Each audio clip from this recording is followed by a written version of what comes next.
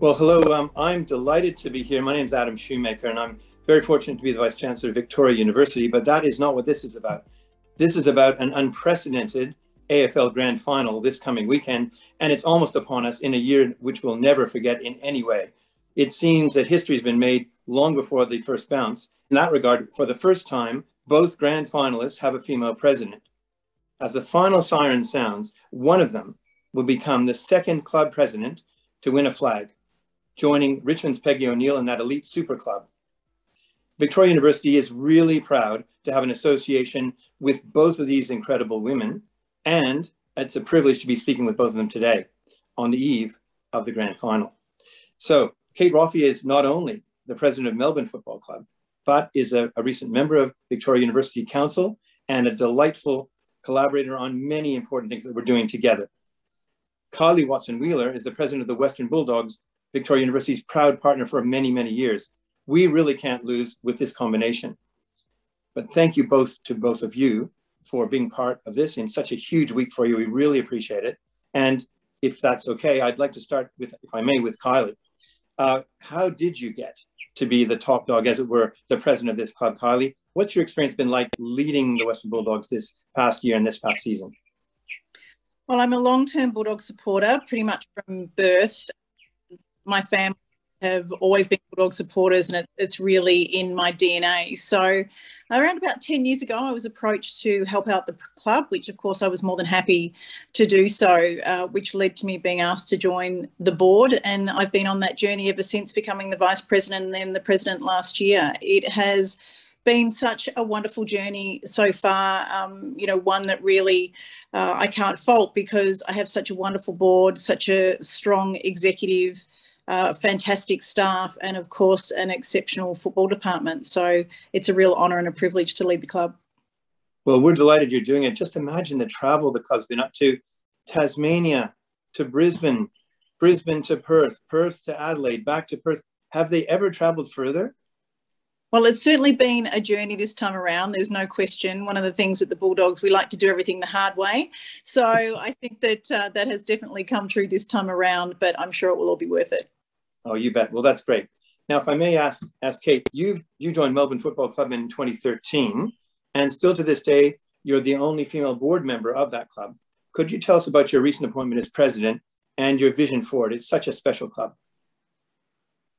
Yeah, look, I think um, when we talk about succession planning a lot, I, I, talk about my succession planning already, and I've only just started. So it's really important that we know uh, what we're going to do and that we transition. And, uh, you know, really, I'm a case of, I think, right person, right place, right time. Um, as you are so many times in your life. So when when we uh, wanted to enact our transition, the, we sat down as a board and we um, very openly and honestly said, who do we think is the person that needs to step up and and take us forward? And uh, my fellow directors said, we think it has to be you. It's not something, funnily enough, that you jump around and go, oh, fantastic, because there's such big jobs. Both Kylie and I uh, work in executive roles elsewhere. So these are unpaid roles. And the only reason we talk about that is that we, we have to balance that out with the rest of your life. And so I sort of said, well, let me think about how that impacts because when you take these roles on, you absolutely become, you know, a mother hen to 53,000 members in our case. So they are very big roles and you do it with the right attitude in terms of, oh, I've got to give my all to this role, and that does take a toll in other areas of your life. But having said that, I mean, to be the president of an AFL club is uh, it's totally unique for a start. I come from outside of Victoria, and I know when I came here how big the AFL machine is. It's just it's more than a sport here. We talk about it, you know, sort of blasé and say it's a religion, but there is something very special about AFL in in the southern states, and particular Victoria. So you know that it's you know it's not just governing a board here, it's not just governing an organisation, it's so much more. So to be asked to do that and to think that your fellow directors, who are all highly skilled in their own right, have the confidence in you to actually lead the club forward, you know, really you you just don't say no. I just said, well, it's my time to step up. So step up I did, and um, we find ourselves vying for our first premiership flag in 57 years. Well, you both have timed it incredibly well, right? When you think about it, it's pretty amazing. So it sounds like neither of you hesitated when asked. It sounded like in your case, it was just logical, and Carl, in your case too. So that's incredibly exciting to think that that talent was there and the timing was right. So by contrast, if you think of the Western Bulldogs, Kylie, uh, they're one of only two clubs in the competition where that have achieved parity in terms of gender at the board level, which is a great thing to aim for. Um, our own professor, uh, Clare Hanlon, for example, who's the Susan Albert, Alberti Woman in Chair, uh, Sport Chair, has spoken at length about the importance of this for the future of Australian sport of all types. I'm really keen to get your view on that then. What do you think? Does it make a difference to the board to have that gender equality? And how important is it to, to decision making that you do? Well, the whole time I've been on the board at the Western Bulldogs, our focus has been around what talents and skills we need on the board and really ensuring that we're putting together a board that has a variety of backgrounds and knowledge and insights to, to really maximise the opportunity and the governance of the club. And so through that process, we've it's been a, a very, very focused and specific process to find the right people for the board with the right skill sets. And as a result of that, organically, we found ourselves with 50% women. So I think what that demonstrates is how important it is on a board such as ours to really have an open mind uh, when you're looking for what the skill sets are that you need, the background and knowledge rather than gender. Yeah, yeah. I mean, skills, everything, isn't it? And ability to step up at the right moment as well. But isn't it great that it's happened in that way, which is just terrific? And you know, one of the things I want to observe too is that we are all looking forward to doing, doing and seeing something where you're both Melbourne-based clubs playing in Perth in Western Australia. How is that going to feel for both of you? Kate, what does what's it feel like?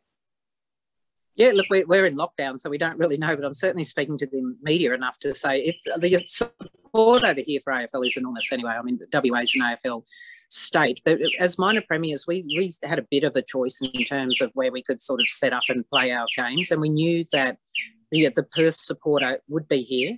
You'd fill that stadium um, just off the back of this probably being the only time that the AFL Grand Final will be played over in this city for in our lifetimes um, potentially. So you know, we did really think a lot about that. As Kylie said, they've travelled everywhere. We've had our um, team over here for nearly a month away from their families and wow. and partners. They they haven't seen anyone. Um, their partners and families aren't allowed in. Kylie and I barely got here, you know, through exemption. Um, hence the reason we come out of quarantine so late. So you know, they've been set up here as their home base, but it's been extraordinarily difficult being away from. You know, a lot of them have young children and babies and um, the Perth people have been just so supportive of this whole experience, the AFL of our team, and you know it's it's unique. There's no doubt about that. But you know you can't opt out of COVID, so you just have to go with the flow. And you know really. Um, outside of Melbourne, you're probably going to get the most excitement for a, a grand final fever over here in Perth. The supporters have just been extraordinary.